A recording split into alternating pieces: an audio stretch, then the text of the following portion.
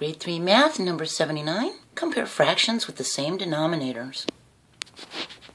Here we have a fraction, and here we have a fraction, and they have the same denominator. They have a 4 for the denominator. This one's numerator is 1, and this one's numerator is 2. This is 1 fourth, this is 2 fourths. Which one has more area colored in? This one does, the 2 fourths. It's got two parts colored in, and that one's only got one part colored in. So, to compare them, we need to use the big mouth to big number, less than, greater than, or equal to.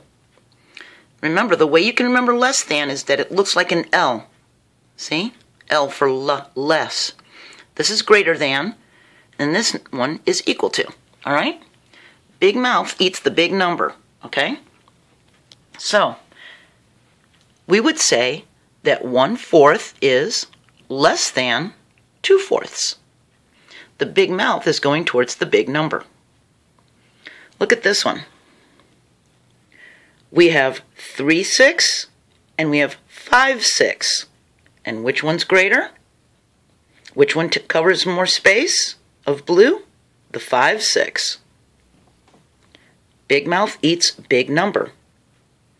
Look at the 3 6. You know what? It's half, isn't it? 3 6 is equal to a half. That's an equivalent fraction. Okay, let's look at this number line. Try to get the glow from my light not to bother you. There's 0, and here's 8 eighths, because that's one whole. When the numerator and the denominator are the same, that means it's one whole. We have 1 eighth, 2 eighths, 3 eighths, 4 eighths, 5 eighths, 6 eighths, 7 eighths, 8 eighths. This would be 9 eighths, 10 eighths, 11 eighths, See? Which would be like 1 and 3 eighths is 11 eighths. See that? How it keeps going on the number line? Okay, here's 3 eighths, and here's 5 eighths. Which one went farther? Which one's bigger? The blue one or the red one? The 3 eighths or the 5 eighths? The 5 eighths is bigger. Big mouth eats big number.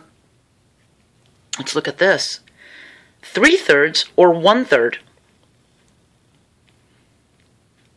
3 thirds is equal to the whole thing, see?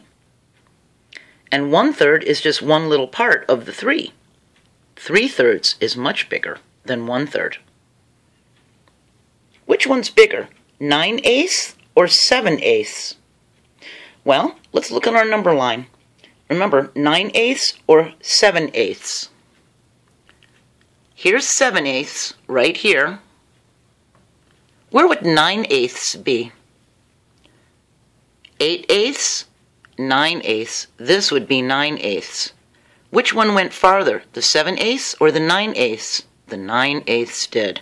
And the 9 is bigger than the 7 because when their denominators are the same, you can just say the 9 is bigger than the 7 and do it that route, see? When the denominators are different, oh, we have more work to do and it's completely different than this. We'll show you in the videos coming up what happens when the denominators are different. Okay? So 9 eighths is bigger than 7 eighths. 1 sixth or 5 sixths? Which one's bigger? Which one's bigger, 1 or 5? The 5 is. 1 sixth is less than 5 sixths. That's how you would read that. 4 eighths or 3 eighths? Which one is more, 4 or 3? The 4 is bigger. 4 eighths is greater than 3 eighths.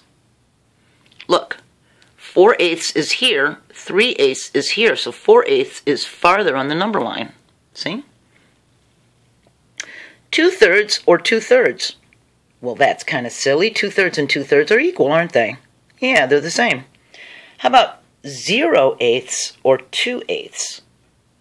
Where would 0 eighths be?